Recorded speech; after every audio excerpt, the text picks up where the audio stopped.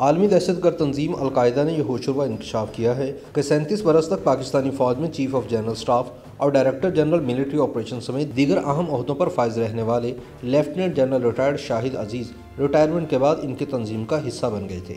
और ये कि गिरफ्तारी के बाद फौज की हिरासत में इनकी मौत वाक़ हो चुकी है। ताहम लेफ्टिनेंट जनरल शाहिद अज़ीज़ के बेटे, मेजर रिटायर्ड जिशान शाहिद का कहना है कि इनके वालिद ज़िंदा हैं और एक तबलीगी मिशन पर अफ्रीका के किसी मुल्क में मौजूद हैं।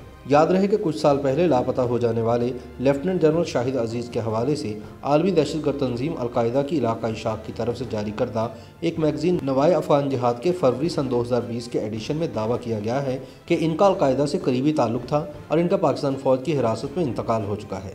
अलकायदा की इलाकई तंजीम अलकायदा बर सग़ीर के मैगज़ीन नवाए अफ़गान जहाद में दावा किया गया है कि जनरल रिटायर्ड शाहिद अज़ीज़ के कलदम तंजीम के साथ करीबी ताल्लुक थे और वह चंद बरस कबल फौत हो चुके हैं। नवाए अफ़गान जहाद के फरवरी सन 2020 के एडिशन में दावा किया गया है कि जनरल शाहिद अज़ीज़ ने सन 2015 में चशम कुशा पर मबनी एक किताब अलकायदा को दी थी, जिसका उर्दू तर्जुमा अलकायदा के मुजल्ले में शाया किया जा रहा है। नवाई अफ़गान जिहाद में इस किताब का नाम war against terrorism and the concept of jihad दर्ज किया गया है।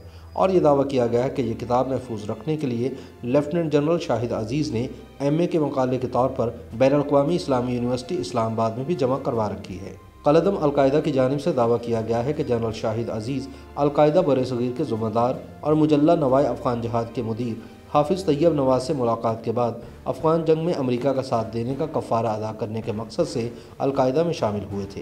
ख्याल रहे कि जनरल शाहिद अज़ीज़ माजी में पाक फ़ौज के अली पर तयनत रह चुके हैं। वो सैंतीस साल मुलाजमत के बाद सन 2005 में पाकिस्तानी फ़ौज से रिटायर्ड हुए। जनरल शाहिद अज़ीज़ ने सन उन्नीस सौ इकहत्तर की जंग लड़ी। सेकेंड लेफ्टिनेंट से थ्री स्टार जनरल तक पाक फ़ौज के पूरे कमांड सिस्टम का हिस्सा रहे। Director general military operations, chief of general staff और लाहौर के कोर कमांडर भी रहे, जबकि रिटायरमेंट के बाद दो साल के लिए चेयरमैन नैब भी रहे। जनरल शाहिद अज़ीज़, जनरल मुशरफ के रिश्तेदार भी थे। तीन नस्लों से फौजी थे, इनके वालिद भी फ़ौज में थे। वो ब्रिगेडियर के अहदे तक पहुँचे। इनके साहबजादे जिशान शाहिद भी पाक फौज का हिस्सा रहे और बतौर मेजर रिटायरमेंट ली। जनरल शाहिद अज़ीज़ ने रिटायरमेंट के बाद ये खामोशी कहाँ तक के नाम से अपनी ऑटोबायोग्राफी लिखी, जो मुशरफ पर कड़ी तनकीद के बायस खासी मुतनाज़ थी। इस किताब को फ़ौज के ख़िलाफ़ साजिश करार दिया गया और जनरल शाहिद अज़ीज़ के कोर्ट मार्शल का मुतालबा भी हुआ। शाहिद अज़ीज़ का सन 2016 में अचानक गायब हो जाना अभी तक एक मम्मा है। इनके गायब होने के बाद मुख्तु किस्म की चहमगोइयाँ की जाने लगी थीं।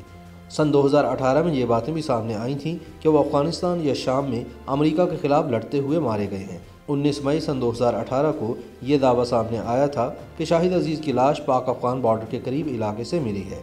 20 मई सन 2018 को शाहिद अज़ीज़ के बेटे जिशान शाहिद ने अपने वालिद की मौत की खबरों की तरदीद की थी। उनका कहना था कि इनके वालिद इस वक्त तबलीगी मिशन पर किसी अफ्रीकी मुल्क में मौजूद हैं। वो खैरियत से हैं, इनकी मौत की इतलात की कभी तस्दीक नहीं हो सकी। लेकिन अलकायदा बरसगीर नामी तंजीम के इलाकई उर्दू ज़ुबान के मैगज़ीन नवाए अफ़गान जहाद का दावा दो साल से जारी अफवाहों के सिलसिले की ताज़ा तरीन कड़ी है। वाज रहे कि अलकायदा बरसगीर की बुनियाद, अलकायदा के सरबरा एमन जवाहरी ने सन 2014 में रखी थी, जिसका मकसद पाकिस्तान, भारत, अफ़गानिस्तान, म्यांमार और बांग्लादेश की हुकूमतों से जंग करना था।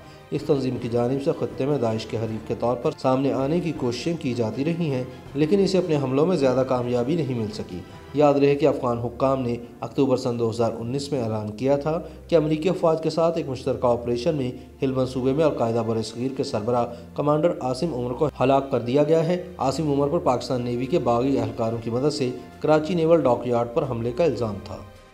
YouTube पर गूगली न्यूज़ देखने के लिए YouTube.com की सर्च बार में गूगली न्यूज़ टीवी टाइप करें। गूगली न्यूज़ के पेज पर सुर्ख रंग के सब्सक्रिप्शन वाले बटन पर क्लिक करना ना भूलिए। YouTube पेज पर अपलोड होने वाली वीडियो से बाखबर रहने के लिए बेल आइकन पर क्लिक कीजिए। आपको हर नई वीडियो के बारे में नोटिफिकेशन मौसू हो जाएगा।